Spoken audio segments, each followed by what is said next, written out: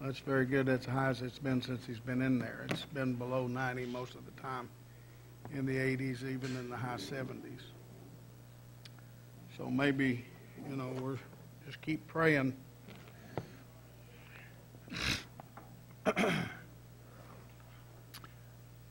Why don't we just have prayer for him right now? Dear Lord Jesus, oh God, our trust, our confidence is in you, Savior. Asking you, Lord, to touch Brother Bud's body, lift him up out of this virus condition. Oh God, touch the doctors and the nurses. Oh God, touch their minds and help them, Lord, to help him to get over this. Oh, Lamb of God, touch his assembly, the people there that have this virus also, Lord. In Jesus' name we ask you, amen. Uh, Brother Bud is his church. He's got, um, let's see, one, two, three, four, five, six. There's eight or ten of them that's got got coronavirus in his church. And I think probably the reason for that is is because it's basically all one family. He's got a big family. Of course, they're together all the time. Brother Dennis White and Brother Dick Tubby are married to sisters. And their son, no, their daughter is married to, well, Brother Jake's not kin to him. But then Jake and Emily have it too. and then they've got kids. And then Brother Bud's granddaughter is married to um, the white son. And then they've got how many kids, Ann? Four? One of them has it. And, uh, and Memo and Carmen Cano have got it. So those, you know, they, they're, those families are together all the time. And of course, I don't know. They they did go to Tyler, the funeral, rather. Um, Jacoby, and there are several there. They've, they've had that have had it, and um, so anyway, it's kind of like a kind of what you know. It's kind of like what the world teaches on the devil. It's a ghost. You don't know where it's at or how, how it's working. And uh, so you don't know what you're fighting really. Uh, but all of the people that have it are doing good. Uh, most of them are over it. Uh,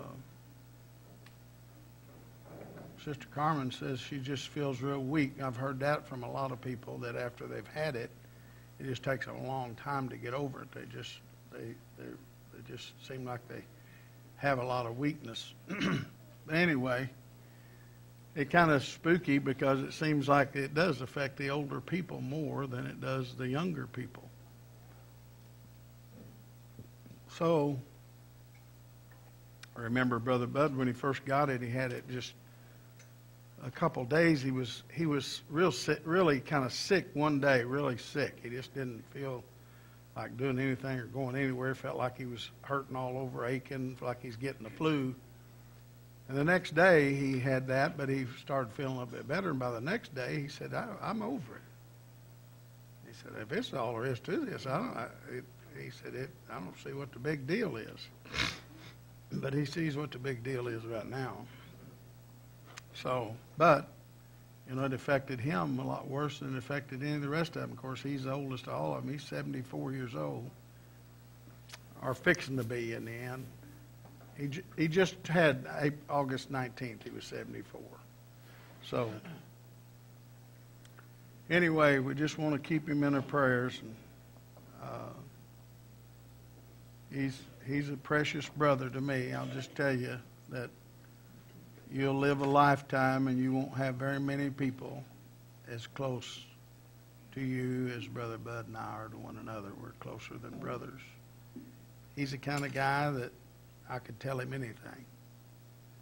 I can tell him whatever I feel when I'm wrong and when I'm down in the dumps, and I can tell you it will never go no further than Brother Bud. And he can and has many times done the same thing to me. That's when you know you've got a real friend, is when they'll stick with you no matter what you go through. And and they understand your ups and downs. We just have that kind of relationship, and it's precious to have. I'd hate to lose him. I get you. I, I get used to having somebody, you know, sounding board, someone to talk to. Anyway, uh,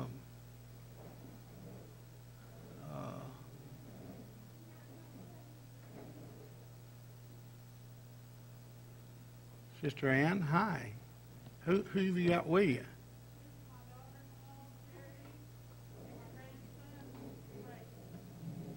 Brett? Brett? What's she saying? Ray. Ray? Ray. What did you say your daughter-in-law's name was? Charity. Okay. Charity, is Brett, is Ray treating you all right? all right. Well, we're awful glad to have y'all with us today. Appreciate you being here.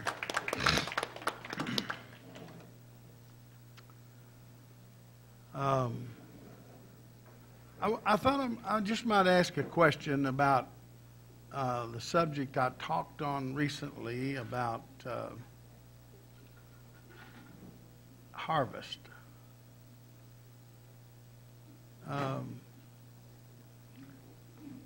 Can somebody in here tell me what the main gist of what I was saying was? I'm just wondering if y'all got it. I may not have did a good, that good a job.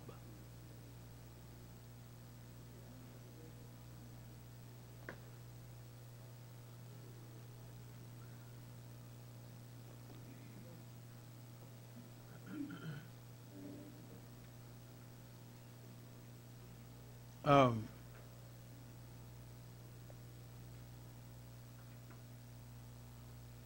you, you,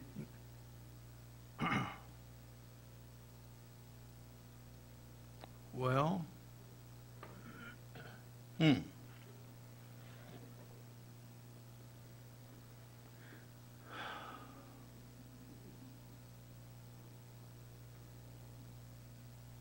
I, I must not have did a very good job.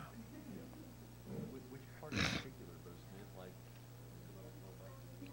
the, the fact that the harvest as far as the, I mean, you covered quite a bit as far as the way the harvests are considered, the latter rain, the early rain, how that's different in the Jewish calendar. Is it that part? What, you covered a lot in relation to the harvest, I think he's talking about two harvests. the two harvests. Yeah, no, I'm talking about here recently, I, I, I, we had a Bible study on, on, on harvest. I used the word harvest, and I gave some scriptures on it. Let me just give you, let me just give you a little re, let me just restate a few things about it. Um, look in Joshua.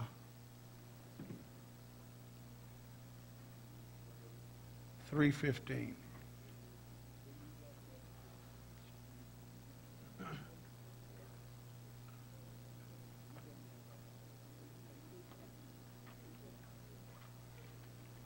We'll start in the fourteenth verse where it says, And it came to pass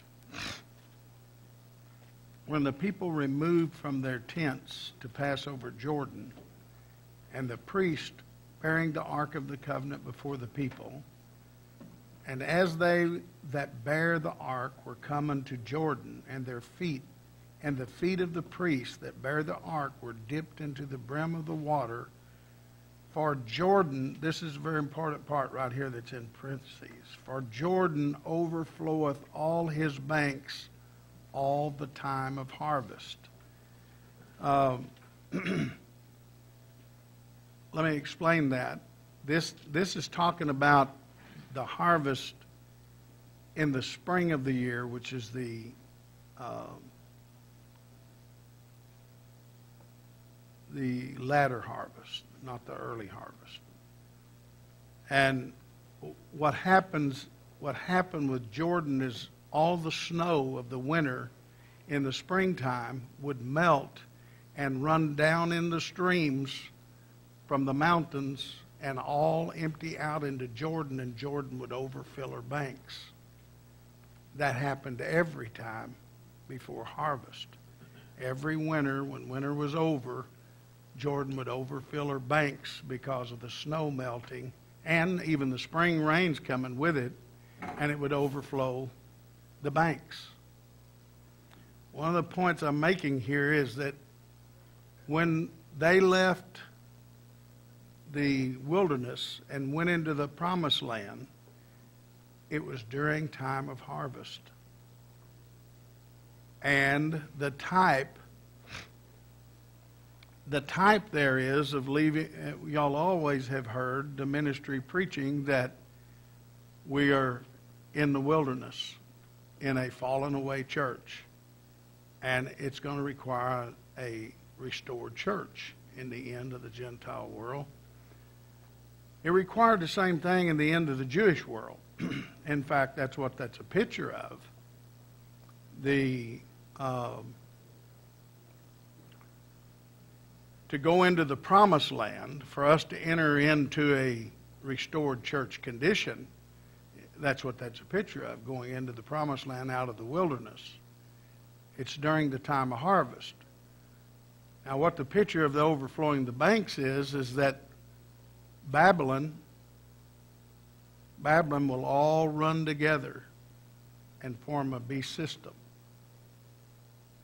And it will overflow its banks at the time of harvest, when God gets ready to harvest the end of this world, same way he harvest the end of the Jewish world, the same thing happened. The Jews all came together, and all of those different secular groups the Pharisees, Sadducees, Elamites, Herodians, Cretians, um, you know, uh, Essenes, all, all of those different secular groups joined together in fighting against the body of Christ and Christ being the Messiah, and they were adversary to it.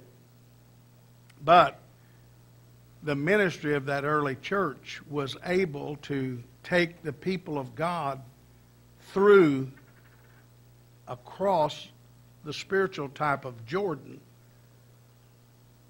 without them getting any of the ideology of the of the beast system of that day or Babylonia system of that day without them being hindered within that that's a picture of them going across on dry shod ground in other words they didn't get any of the the the mud or the the that that let you know that that that was uh, in the foundation on their feet or shoes because they were in type shod with the gospel of peace of Jesus Christ. So they didn't get any, you know, the ministry was able to take them through that period of time without them being affected by all the fi- false ideology that was going on that was fighting against. It was a miracle that God got those people through that. And they went into the promised land, and of course, they, they overcame the ites of the land and took the land. And that's what it'll take during, just like the early church did. In fact, I'll give you a scripture in, in uh, Revelations, the eighth chapter. Um, let me see here if I can find it. It's the sec- It's the eighth verse, Revelations eight and eight. now this is the trumpets. The first trumpet sounded. Well, let me just go back to it because it maybe will just help you to know that what I'm saying about the second. The first angel sounded, and there followed hail and fire mingled with blood, and they were cast upon the earth and the third part of the trees were burned up, and all green grass was burned up. Now, y'all have heard me before on this third part. First off, hail and fire mingled with blood. It's just judgment. Judgment came from that first trumpet sound. and Jesus was the blower of that trumpet. And a third part of the trees were burned up. Y'all have heard me on the third part. This is not saying one third of the trees that existed there burned up, but there's only three times in in history of man that God eternally judges, and He eternally judged in the end of the Jewish world with a divine order of God, which is what we're looking for in a restored church, which would be the second eternal judgment time, and then during the thousand year millennial, including the final white throne judgment after the thousand years, will be the three times of eternal judgment. So that's three three times, which is one third, one third, and one third, makes the whole of God judging everything. And this third part of the trees, he judged everything. All trees were judged under Christ in the early church. And and all green grass, that's flesh. They're they're see all green grass. You know, he Jesus judged the flesh in himself, which he judged and showed that that uh, there that you cannot stand the flesh cannot stand. It, it can't be saved. I'm talking about the works of the flesh or the Adamic nature, but it's the it's the Christ-like nature that we're reborn of that has to be saved. So, verse 8 says, And the second angel sounded, and as it were a great mountain burning with fire was cast into the sea. And the third part of the sea became blood, and the third part of the creatures which were in the sea and had life died, and the third part of the ships were destroyed. If you remember, Jesus told his disciples, said, If you have faith as the grain of a mustard seed, thou shalt say unto this mountain, Be thou removed and be cast into the sea.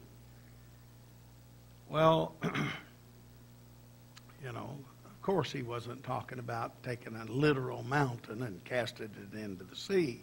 That's, that's allegoric language.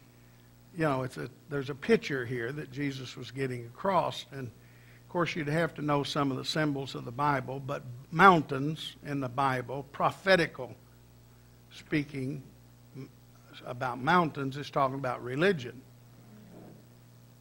Mountains and hills is religion. The sea is flat. It's how many of y'all ever been in a boat out on the ocean? If you ever been out on a boat in the ocean, you can see where the sky meets the sea. That's called the horizon, and that's seven miles.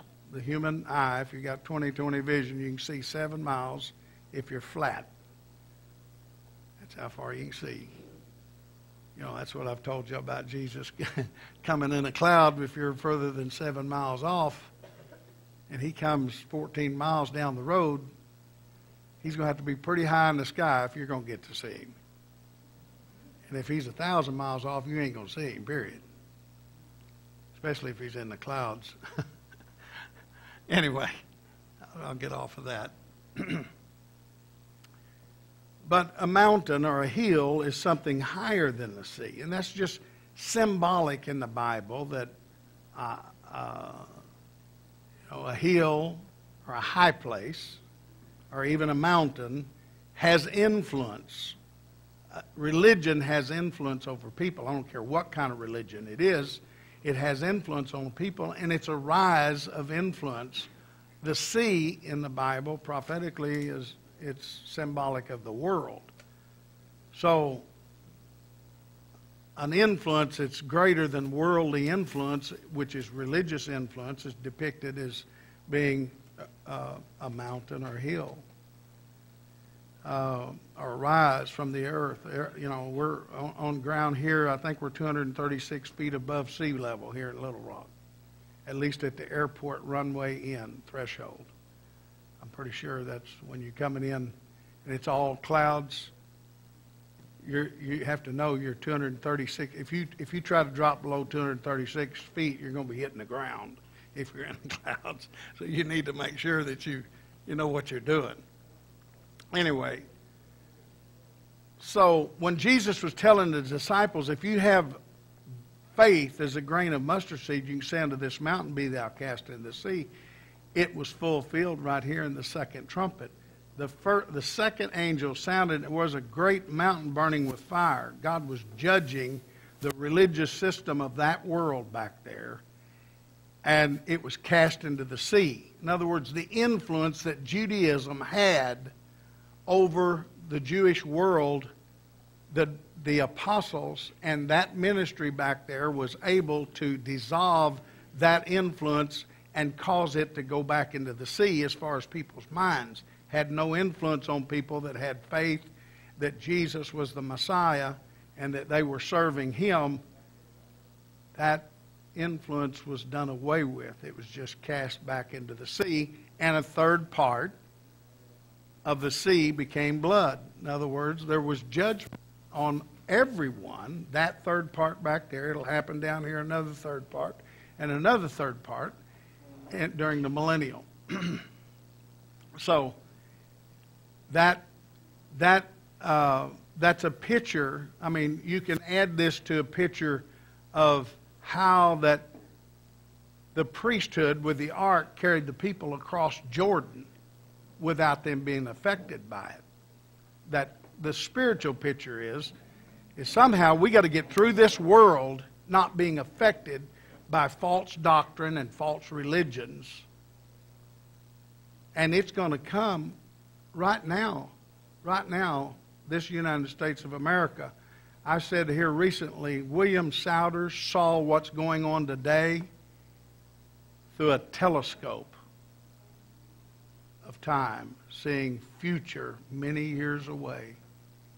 Today, if you're spiritual at all, you can see without even a pair of glasses what's going on. This United States of America is changing rapidly. This United States of America is it's falling uh, uh,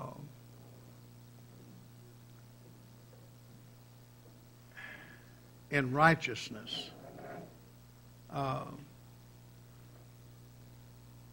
I, I was just reading, I heard this the other day, and I so I looked it up, and I still don't know the exact amount of truth about it, but it's hard for me to believe the lowest figure that I could get of how many Americans are gay is 21%. One out of every five people. That is very hard for me to, it's hard for me to decipher that that could be true.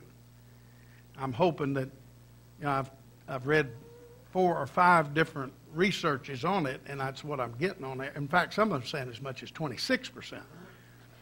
That's hard for me to believe, but, but morally, morally, this country is decaying rapidly, and it's sad what's happening, and it fits though with Bible prophecy.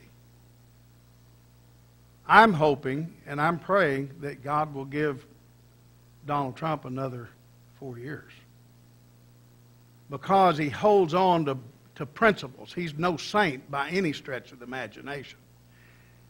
But somehow God's put it in his mind and he's holding on to the principles that built America.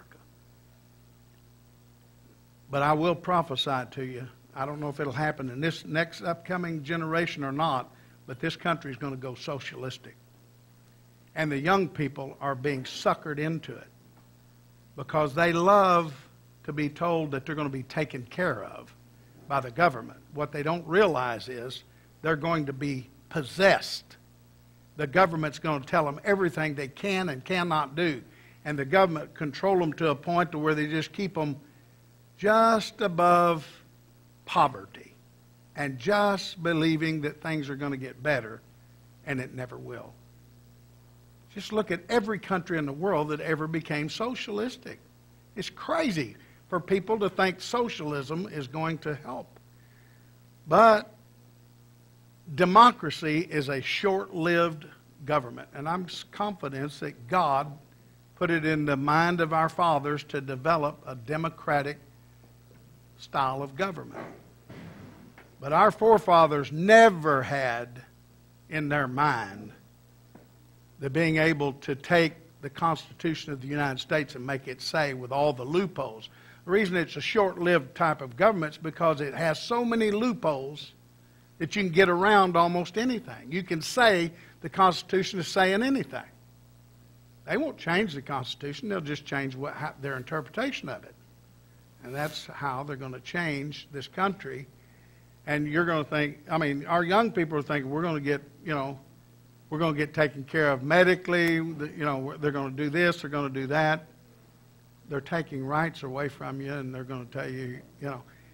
But it's not a God, it's not God's government. It's, it's the government God gave this nation to restore His church. The United States is the, the nation that God has blessed more than any other nation in the world. That's just an absolute fact. Anybody that don't know that don't know nothing about history of the, you know, of the, of the world since the United States started. So, uh, but this nation has turned on God. Of course, the Bible says anytime a nation turns on God, it'll be turned into hell. And this nation is becoming a hellish in a hellish condition. So, but anyway, I'm just showing you uh, this this script this scripture here. I'm just using it on harvest. Let me give you. Um, let me give you this scripture, and and since we're read there in Revelations, we'll just go ahead and look at Revelations 14. I'm getting at a point. I've got, there's a point that I'm, I'm wanting y'all to get. I'll, I'll clearly state it to you in here in a minute, but the 14th chapter of the book of Revelations. And in the sixth verse, it starts off, and I'm not going to read all this to you, but it starts off showing that there was an angel in the flying in the midst of heaven having the everlasting gospel to preach unto them that dwell on the earth in every nation and kindred and tongue and people. That's what I'm looking for. That's what this ministry is longing for is the everlasting gospel. The gospel that'll last forever. If it's a lie, it won't last. If it's not true, it will not last. And we have to desire not what we want as doctrine you know, this is, you know, you can think, well, this is what I believe and this is the way I want it to be. It don't matter how you or I want it to be. If it's different from the way it is, we need to get in a condition that God, I just want to understand the truth no matter what it is.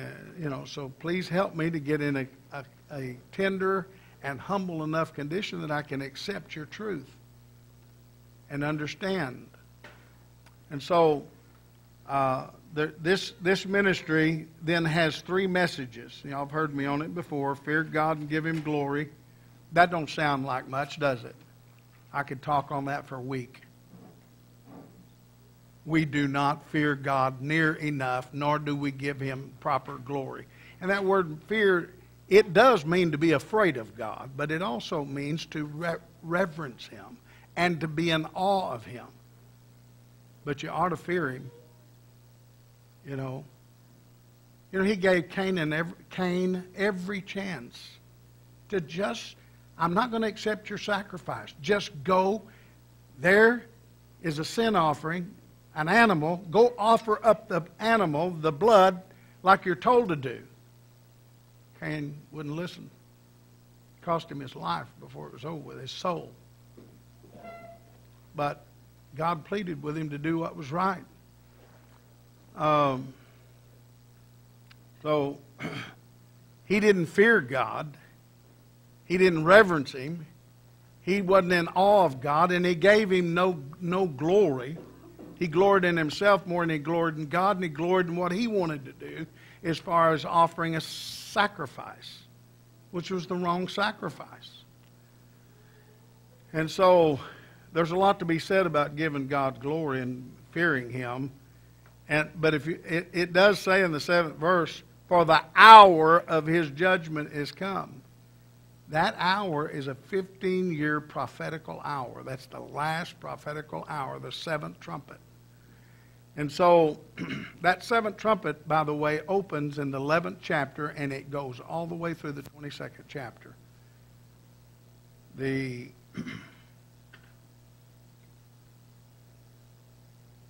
the seventh seal is opened in the eighth chapter, and that seventh seal is revealing everything that's in the Revelation, even that that's shown in the first six seals. Those first six seals are just indexes that gives a little synopsis of the book.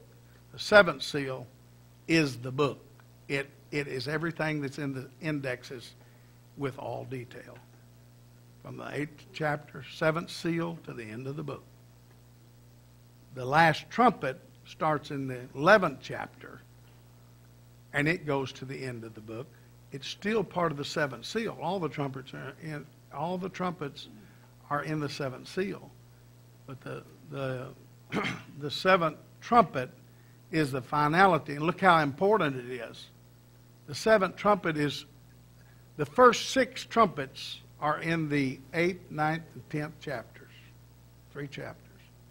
Seventh trumpet is in the 11th, 12th, 13th, 14th, 15th, 16th, 17th, 18th, 19th, 20th, 21, 22. 12 chapters.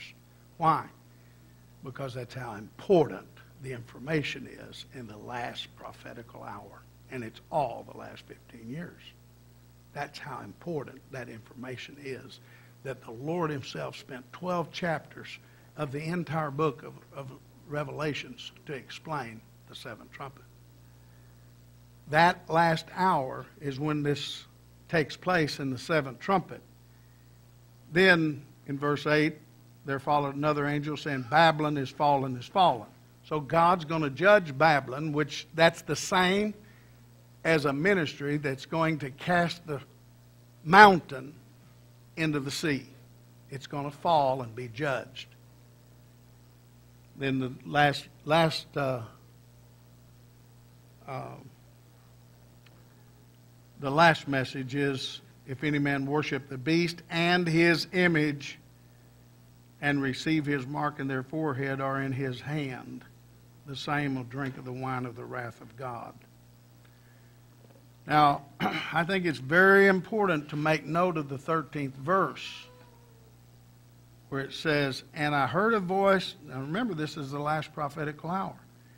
I heard a voice from heaven saying unto me, Write, Blessed are the dead which die in the Lord from henceforth. Yea, saith the Spirit, that they may rest from their labors and their works do follow them.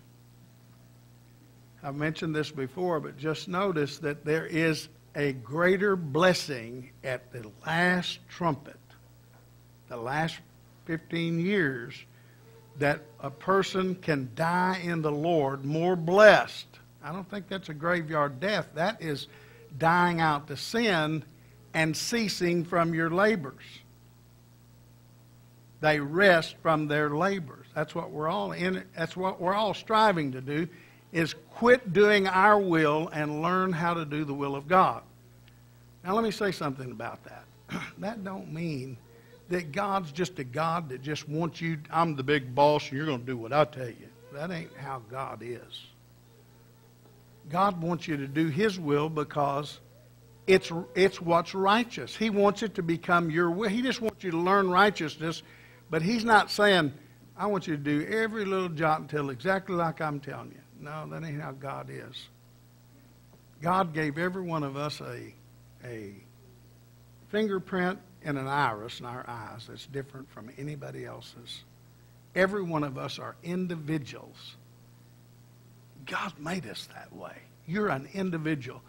And, and God wants you to be individually, individually a part of his kingdom just where his righteousness is working in you. The thing about it is, not any one of us is big enough to do everything that God wants done. So it takes us corporately to be able to do whatever's our gift and whatever our individual makeup is to be a part of the whole corporate body of Jesus Christ. He's not just wanting you to, he's not a big boss that way. In fact, He wants you to grow to a place that you are developed in righteousness, and whatever you do is going to be righteous. That's what He wants. That's His will. And your will needs to become that way. He still wants you to be you. He just wants you to be righteous what you do. So, I think there's a blessed time. Note that scripture. There's not another scripture in the Bible that, that that's that plain about that. If you can be righteous and perfect and an overcomer at any time during any age, why would it be more blessed to die out to sin in the last prophetical hour? What would make it more blessed? Now, let me go on because that's not my main point. Verse 14 said, And I looked, and behold, a white cloud, and upon the cloud one sat, up, sat like unto the Son of Man, having on his head a golden crown, and in his hand a sharp sickle. And another angel came out of the temple, crying with a loud voice to him that sat on the cloud, Thrust in thy sickle, and reap, for the time is come for thee to reap, for the harvest of the earth is ripe. See, I want you to get that. When is the harvest? It's in the last prophetical hour, the seventh trumpet. That's when the harvest is. And that is when God's going to reap the earth in the end of the Gentile world. He reaped in the end of the Jewish world a harvest. What did Jesus say in John? What, was it in John 5 where he said to his disciples, Say not, it's four months till the harvest. For he said, The fields are white and ready to harvest. They must have thought, What's wrong with this guy? It was literally four months before the barley and wheat fields were going to come to full head and make grain. It's greener than a gourd. And he's telling them, the fields are white. What he was telling them is, we're fixing to enter a harvest of the end of this world. And if you've got spiritual eyes, you can see it. The ripeness of this world is upon us. And that was, I know it was strange to them. I know they got it later, but they didn't get it right then. So, in the end of that world, there was a harvest. In the end of this world, there's a harvest. Now, let, let me go ahead and read you a little bit more here because there's another harvest you need to be aware of. Verse, of course, here, this Son of Man, a cloud, the cloud's a restored church. The Son of Man, of course, is Christ. On his head, a golden crown. In other words, that's wisdom.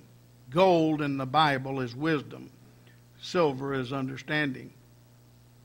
Uh, he had, a, he had wisdom in his rulership. And in his hand, that's his ministry, a sharp sickle.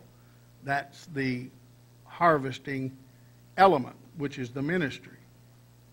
Um, verse 16 says, he, set, he that sat on the cloud thrust in his sickle in the earth was, was reaped. And another angel, verse 17, came out of the temple which is in heaven, he also having a sharp sickle and another angel came out from the altar which had power over fire and cried with a loud cry to him that had the sharp sickle, saying, Thrust in thy sharp sickle and gather the clusters of the vine of the earth, for her grapes are fully ripe.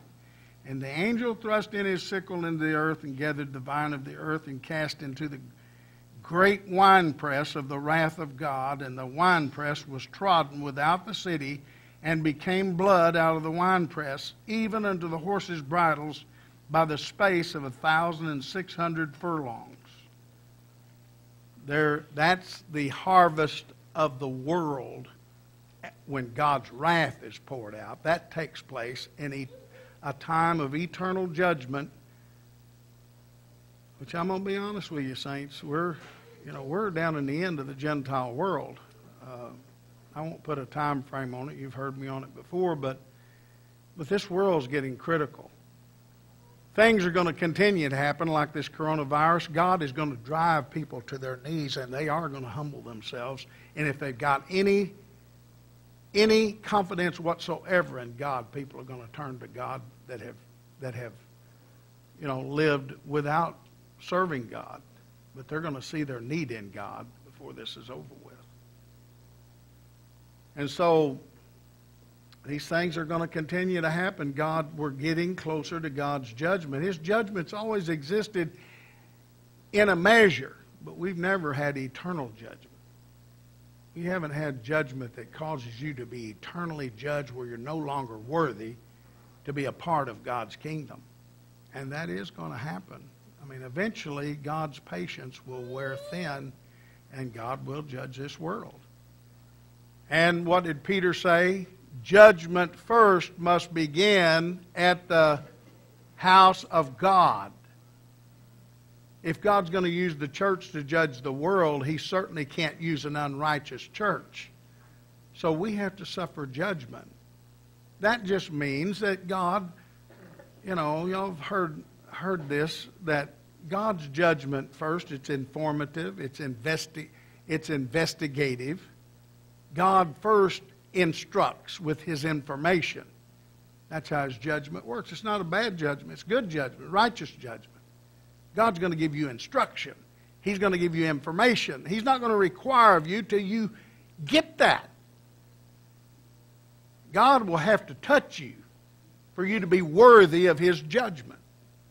Though what, what Psalms 1 says, the ungodly are not so. They shall not stand in judgment. They won't be judged because they're already judged unworthy because they've never sought God and they've lived like an animal, like just doing their own will. But if we're going to serve God, we're going to have to say, God, teach me your judgment, teach me righteousness. And for Him to help us, He's going to have to instruct us and give us information. Then He'll require. See, to him that, uh, how's that scripture say that? To him that knoweth to do right and doeth it not, to him it's sin.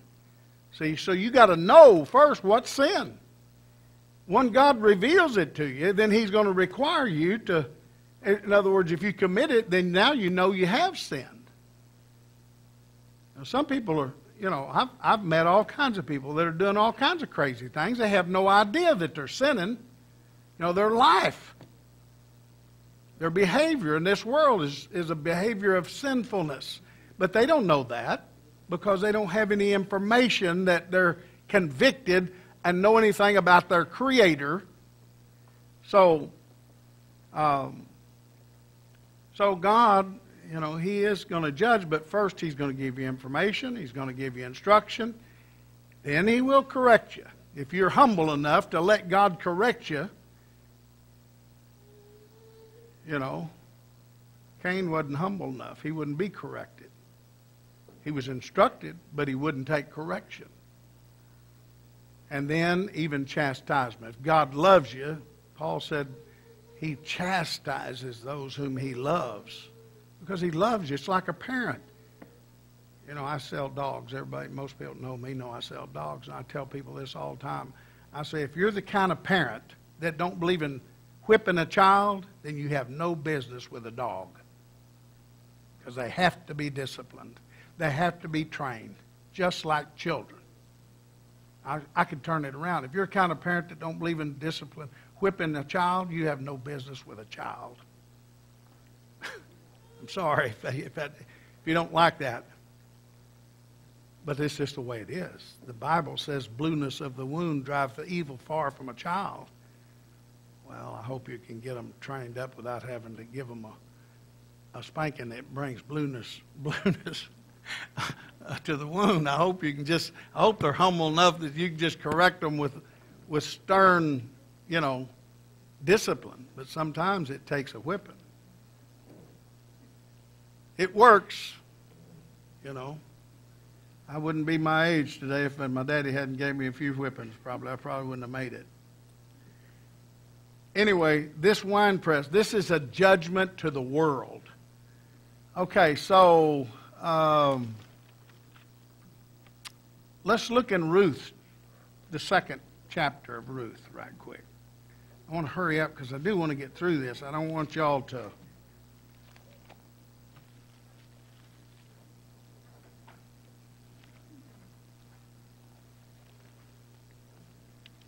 This is an amazing little book because it's only, what, three chapters long?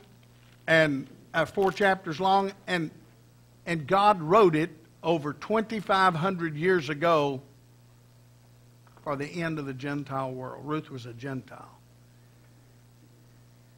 But in, in the second chapter, in the 23rd verse,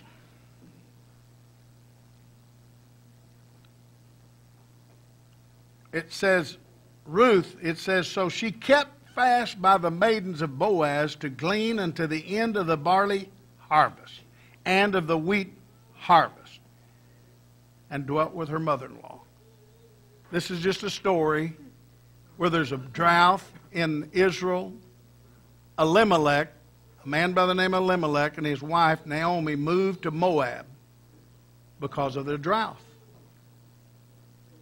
And they had two sons, Mahlon and Chilion. And they married two women, Ruth and Orpah. And the boys, Daddy, Amalek, and the boys died while they were there in Moab. It's a picture. It's a picture of the early church ministry dying and even their descendants of the ministry dying. And and the early church was left, but when Naomi heard that their God had visited the land, and she decided to go back to Israel, and that's a picture of the Gentiles from a uh, fallen away church going back, hearing. You have to hear that God's restoring the church. You got to hear that it's needful that the church be restored, and that we have what the early church, New Testament, tells us that they had. We don't have it right now. Not all of it. We've got part of it. But we're seeking to get back and, and find what they had. That's what we're continually working for.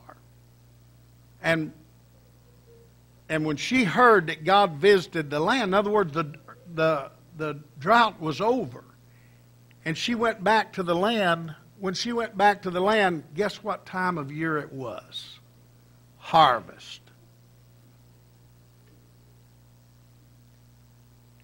And Ruth, you know, there was a law under there was a law under Moses' law that if you were a poor person, that during the time of harvest, whoever owned the field and was harvesting could not harvest everything in the corners of the field.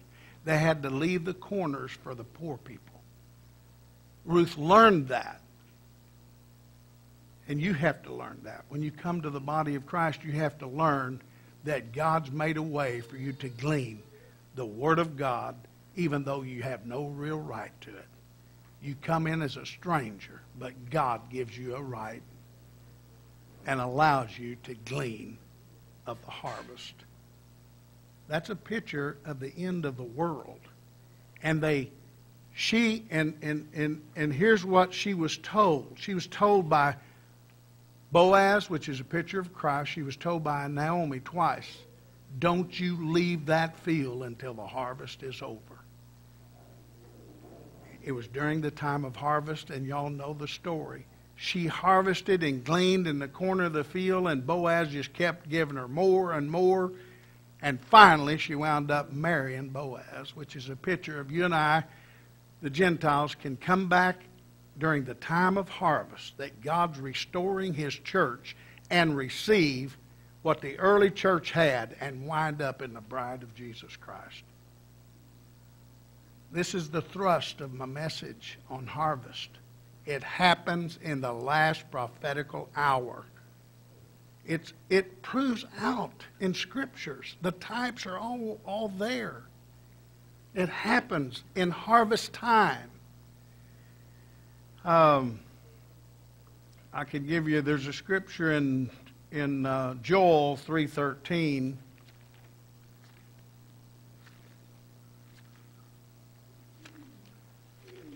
Hosea, Joel. Joel 3:13. This links up with the scripture I gave you of the worldly harvest in Isaiah 4 I mean in Revelations 14 um, 14 and 19. And this scripture here in Joel 3:13 Let me back up just a little bit. It says verse 11 says assemble yourselves and come all ye heathen and gather yourselves together round about thither cause thy mighty ones to come down O Lord. Let the heathen be wakened and come up to the valley of Jehoshaphat. For there will I set to judge all the heathen round about. Put ye in the sickle, for the harvest is ripe. Come, get you down, for the press is full, the fats overflow, for their wickedness is great. Multitudes, multitudes in the valley of decision, for the day of the Lord is near in the valley of decision. That's just during the harvest time. This is a picture and a prophecy. Joel, remember, this is talking about the end of the Jewish world, but it's, it's also paralytic. Is that a word? Parallels with our time, the end of the Gentile world. So, um, he's just showing that multitudes multitudes are in the valley of decision for the day of the Lord. That's the day of the Lord is the, is the time of harvest or the last prophetical hour in both worlds. It's big. It's a valley of decision because this world's going to see a manifestation of Jesus Christ in these latter days, and they're going to have to make a decision. Am I going to go with religion? Am I going to go with the beast and the mark of the beast? Or am I going to, and the image of the beast? Or am I going to go with the body of Christ? The beast and the mark of the beast is like socialism. It'll promise you everything and give you nothing. Just remember I said that. But the, the body of Christ will tell you the truth. You're going to have to face righteousness. You have to face judgment. You have to get you have to quit sinning, get sin out of your life, and start living a righteous life. They're going to teach you you can live any way you want to live. Just say your Hail Marys and your mother's full of, full of grace and heavenly fathers and all that. That will do nothing to make you righteous, and it won't do away with your sin. Uh, we're out of time. I could give you some more scriptures. I'll give you a couple to write down if you want. Uh, John 4.35 through 38 was a verse I was giving you on, uh, say not, it's four months to the harvest. Matthew 13.39 is talking about the end of the world. That's one that we, you really need to know about, the tares, the parable of the tares. Because, you remember, the tares, the husbandman said to the reapers or, or to his workers, they came to him and said, Somebody has sowed tares in the field. Do you want us to pluck up these tares? He said, No, don't do that because you'll tear up the wheat when you do it. But wait till the end of the harvest. Wait till the end of the world. Then get the tares, which is a, and bundle them up that's going to be all of these organizations and all these groups that's going to join. They'll be bundled up in the image of the beast. They'll be bundled up and put in one system because judgment will go out and they'll reject the judgment and they'll run to the other. That'll bundle them up. They'll get judged first. Then God will judge his people. Then he'll judge Babylon. That's an important scripture. Proverbs 10 and 5 Proverbs 20 and 4. Those are main scriptures I'll give you. Mark 4 29. It's on tape if you didn't get it. I said them fast, I know. I just wanted you to know the gist of what I'm saying, to understand that the harvest is not all the time, it's in the last prophetical hour.